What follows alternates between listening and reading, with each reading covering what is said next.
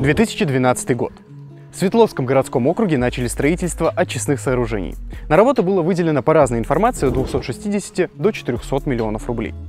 Работы продолжались до 2015 года, после чего перешли в стадию консервации, в которой находятся по сегодняшний день.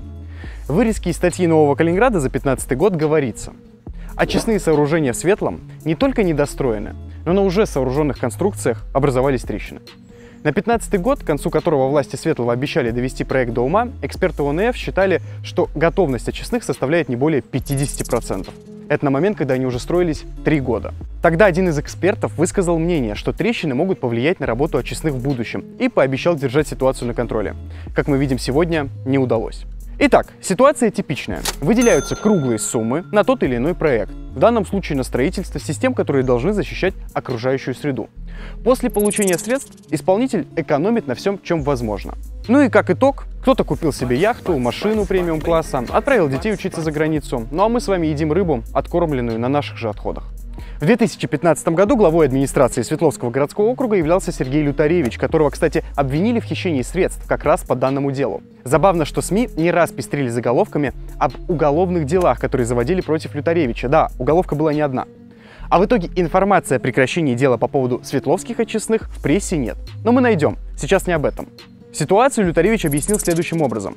Он принял решение внести изменения в проект, тем самым сэкономить на специальном блоке для биологической очистки.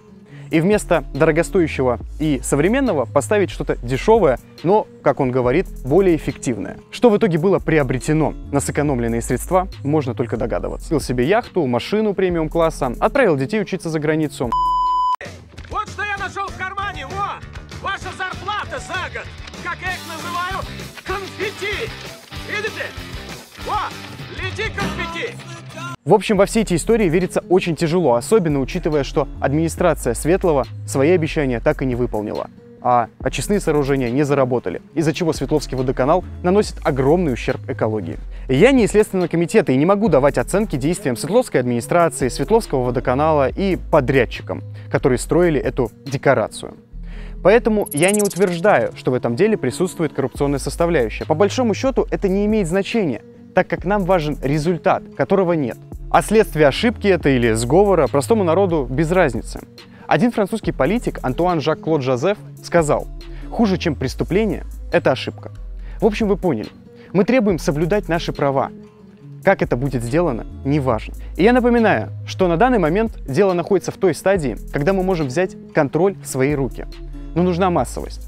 Мы собираем инициативную группу, которая будет представлять интересы народа и защищать светлый от произвола властей. Вступайте в нашу группу в ВК. Ссылка будет в описании к видео и переходите в чат под названием «Светлый». В следующем выпуске мы обозначим конкретно, какие меры необходимо предпринять, чтобы довести очистные в Светлом до полной готовности. Всем спасибо за просмотр и до новых встреч!